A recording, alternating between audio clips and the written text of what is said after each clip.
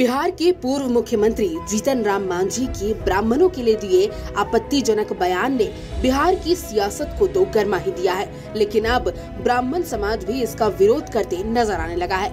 जहाँ पटना में ब्राह्मणों और समाज सेवी कृष्णा कुमार कल्लू के द्वारा सत्यनारायण भगवान की पूजा कराई जा रही है, ताकि जीतन राम मांझी को सदबुद्धि मिले।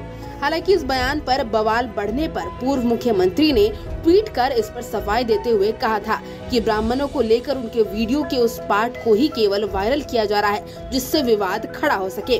उनके बयान को समझने के लिए उसे पूरा सुनने की ज़रूरत है। ब्राह्मण समाज की तरफ़ से हम यही कहेंगे कि पूर्व मुख्यमंत्री श्री जीतनराम मांझी जी ने जो ब्राह्मणों के प्रति बयान दिया है, वो कतई शोभनीय नहीं है।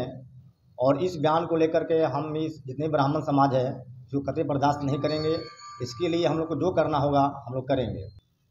भारतीय जनता पार्टी, जो राम के नाम पर अपनी राजनीतिक चमकाती है, आखिर अब तक वो क्यों चुप है?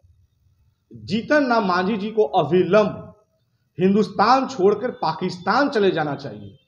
अपनी आपा खो दिए हैं।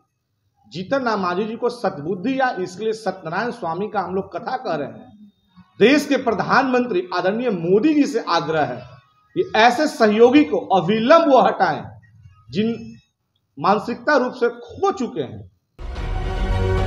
समाचार प्लस, खबर वही जो हमने कही।